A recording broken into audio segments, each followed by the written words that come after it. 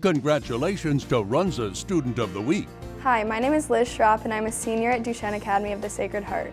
Liz has a 4.0 grade point average and is captain of the soccer team. She participates in student council, cross country, student athlete leadership team, student ambassadors, and traveled on a service trip to the Dominican Republic. And so I went with 11 other girls. Uh, we got really close on the trip and the community there was so welcoming and that was the best part. She's genuine, she's energetic, and she's a great uh, community builder in our school.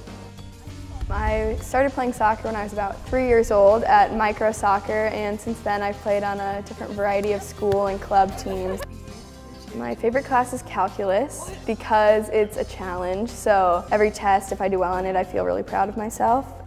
I'm going to go to Georgetown University next year and I hope to just take a bunch of different classes, see what I'm interested in. Liz, congratulations, you're the Runza Student of the Week.